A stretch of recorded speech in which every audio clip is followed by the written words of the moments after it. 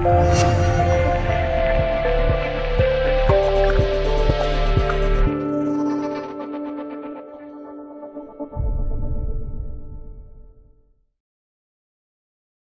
期，巴勒斯坦武装组织对以色列发起导弹袭击。在这个局势复杂而且充满混乱的国家，这个消息似乎已经司空见惯了。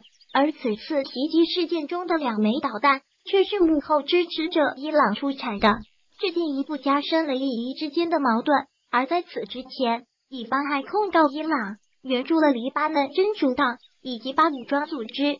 实际上，这些表层矛盾的根本在于叙利亚，整个中东地区动荡和混乱的主要焦点国家也是叙利亚。如今叙冲突情况的复杂程度已经引起了全世界的关注。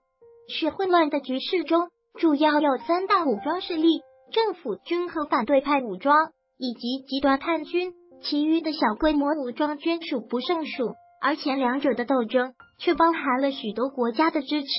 支持这两伙势力不同的表态，代表不同的立场。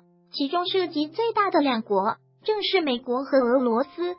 反对派武装有美国的支持，而叙政府军由俄罗斯支持。因而，美俄两国先后派出军事力量介入叙利亚，叙战局势直接升级为大国博弈。除此之外，叙利亚这两大势力还争取到了中东其他小国家的支持。这些中东的国家表态。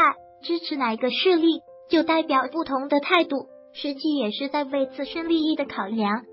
其中，伊朗作为中东地区最知名的反对美国的国度，在立场上必然和后者不同。他选择支持叙政府军，并且用武装力量介入部署导弹。而至于以色列，在察觉到对手的军事动作之后，明显感受到了威胁。有消息显示。美媒体曾经曝光以色列支持反对派武装军，这就等于在态度上倾向美国而敌对伊朗。至于美方部署反导系统，就是对以色列的声援。更重要的是，前不久以色列利用军事卫星侦查到了伊朗在叙境内部署的导弹工厂和军事据点。按照以往惯例，他们肯定要定点打击，直到消除隐患。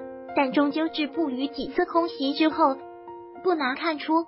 这些年，美以都一直称伊朗在叙境内部署了大量导弹，并且以此为名屡次发起空袭。而至于伊朗到底在盟友身上投入了多少军事力量，目前就不得而知了。